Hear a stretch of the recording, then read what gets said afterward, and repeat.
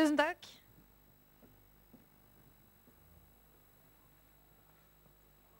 Ja, jeg heter da Mette Hannekomhaug. Jeg er 22 år gammel. Og jeg stiller som tredje kandidat for Møre og Romsdal Fremskrittsparti. Eh, og nå i valgkampen så har jeg vært mye rundt omkring i fylket.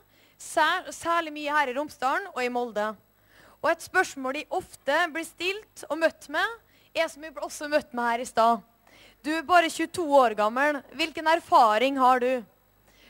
Og jeg mener som er erfaring ekstremt viktig å ha på Stortinget. Det kommer gjennom mange ting. Det som er viktig for meg, er at erfaring kommer ikke alltid bare av antall år brukt på skolebenken, eller antall år man har hatt i næringslivet eller arbeidslivet, eller antall år levd. For alle vi mennesker har støtt på mange utfordringer på veien vår. Og der forsvant notatet. Men vi har støtt på mange utfordringer. Og det er ikke alt, alltid antall utfordringer vi har møtt som er problemet, men det er hvordan vi løser dem. Og det er der det kommer inn. For det er der engasjementet kommer inn, og det er der personligheten de dannes. Det er ikke antall utfordringer, det er hva du har lært av dem. Og det er det jeg mener er mitt sterkeste kort. For jeg har, jeg, som 22 år så har jeg verken høy utdanning eller karriere eller en alder bak meg å lene meg på. Jeg har bare meg sjøl mitt engasjement og mine verdier. Og det mener jeg er mitt fortrinn. For det vi nå står overfor, det er et verdivalg. Det er et valg mellom hvordan vi ønsker å forme samfunnet vårt for fremtida. Hvordan ønsker vi å leve og ha det om 10-20-30 år? Hvilken utvikling ønsker vi? Og det er det som er det store valget i år. Verdi, hvilke verdier ønsker vi? Og der kommer skole- og utdanningspolitikken som er ekstremt viktig. Vi har i dag en skole der vi har et statlig gjennomsnitt som alle skal passe inn i.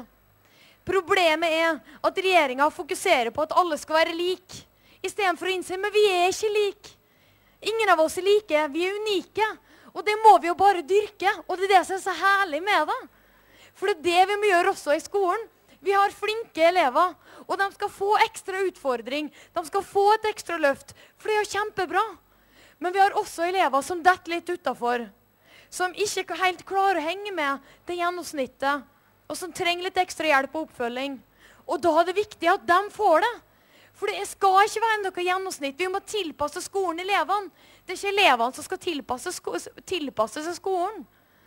Og problem, Mye av problemet i dag er at man er mot private skoler. Vi har i dag mange private skoler som ønsker å starte opp. Med kanskje alternative tilbud. Med tilbud der de kan enten stimulere dem som er flinke, for å gi dem ekstra utfordringer. Men det er også de skolene som ønsker å ta vare på og hjelpe dem som krever litt ekstra ressurser. Disse får nei fra regjeringa. Og det er ikke fordi at de ikke vil bidra og gjøre det bedre for elevene. Nei, det er fordi at de er privat. Og slik ser du at kanskje de elevene som trenger oppfølging og hjelp, ikke får det.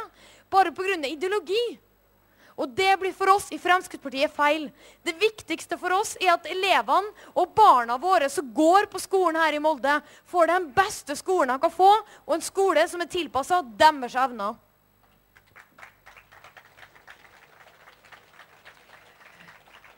Og når vi prater om fremtida og verdier i samfunnet vårt, så ønsker jeg å lese opp to sitat til dere som var på P4. Når de går ute nesten helt nakne og drikker seg fulle, eller drar på fest sammen med kamerater, og så klager de over å bli voldtatt, det er jo deres feil. Hvorpå reporteren spør hvorfor angriper unge afrikanske menn norske kvinner? Og svare lyd. Sånt skjer av og til. Når vi drikker for mye og blir fulle, hender det at vi overfaller dem. Men hvis vi ikke drikker, da angriper vi det ikke. Og Disse uttalelsene det kom i forbindelse med et intervju P4 gjorde med tre tilfeldige mennesker. Og Disse uttalelsene de skremmer meg. De skremmer meg på vegne av meg sjøl, som ung kvinne som lever i dag. De skremmer meg på vegne av deres barn og deres barnebarn, som er på vei og født inn i dette samfunnet og skal leve og vokse opp der slike holdninger faktisk finnes. Og la meg én ting klart. Årsaken til at de eh, tok, tok frem disse uttalelsene, har ingenting med å spre fordommer å gjøre. Jeg hadde dratt frem denne uttalelsen uansett om det var nordmenn, svensker eller afrikanere som hadde sagt det. Det er ikke det som er problemet. Problemet er at det finnes faktisk sånne holdninger i vårt samfunn nå i dag. Og, og jeg mener det at politikere de fastslår strafferammene i Norge. Gjennom disse så viser vi samfunnets holdning til den kriminaliteten som begås. Og når vi da har to regjeringsparti, Arbeiderpartiet og Sosialistisk Venstre, Venstreparti, som på Stortinget ville åpne for å fjerne fengselsstraff, men å heller ha samfunnsstraff på voldtekt, da er det noe feil. For jeg vil ikke ha et samfunn sånn som de har på, på landet Grønland. Der har de samfunnsstraff for voldtekt. Og de har den høyeste voldtektsrata i Vest-Europa. Vi i Fremskrittspartiet vi er opptatt av flere ting vi i kriminalomsorgen og i kriminalpolitikken. Og det, en av dem er høyere straffer. Nettopp for å straffe den som blir begått, for å hindre at andre gjør den kriminelle handlinga, og sist og viktigst for å ivareta offerets hensyn. Vi har Ressurssenteret for voldtektsofre i Norge, Dixie, de sa at det var flere unge damer som kom til dem og sa at de følte at de lave straffene føltes som nye overgrep fra staten. Og da har vi en jobb å gjøre.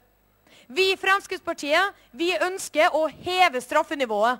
Og det er for å ivareta nettopp beskyttelsen for disse ofrene og skape et mye tryggere og sikrere samfunn for oss som lever her i dag, og også for dem som kommer etter oss.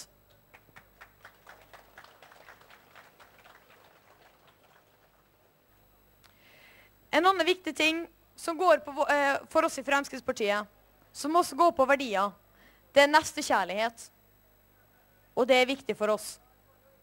Vi har i dag 4400 mennesker som står i ruskø. 4400 mennesker som står der med lua i hånda og kommer til staten og sier 'vær så, vær så snill, hjelp meg ut av rushverdagen min'. Hjelp meg til å få en ny start og komme på beina igjen. Og veit du hva vi sier? Beklager, vi har ikke plass, men kom tilbake om ett og to år, så får du kanskje plass. Det er det vi sier til disse menneskene i dag. Og jeg forstår ikke at regjeringa har samvittighet til å nekte å hjelpe disse menneskene. For det er det vi gjør. Vi sier nei. For det første fordi vi ikke bygger ut omsorgsplasser til dem. Og for det andre så har vi masse ledig kapasitet i rusomsorgen i dag. I private institusjoner. Der vi har ledige plasser og private som sier ja, send dem til oss. Vi kan hjelpe dem. Vi vil gjøre en innsats. Men regjeringa sier nei fordi de er private. Og slik ser vi gang på gang på gang svake, utsatte grupper i vårt samfunn som ikke får den hjelpa de trenger fordi regjeringa sitt prinsipp om at de er mot private, overskygger alt. Og det er feil.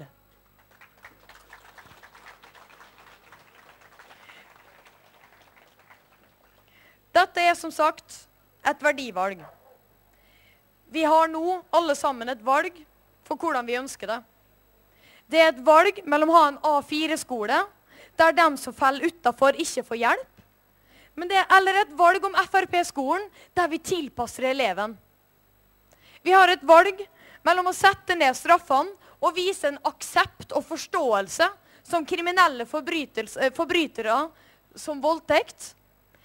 Eller vi kan sette foten ned og si at sånn tolererer vi ikke. Og, strem, st og straffe forbrytelsene og beskytte offeret.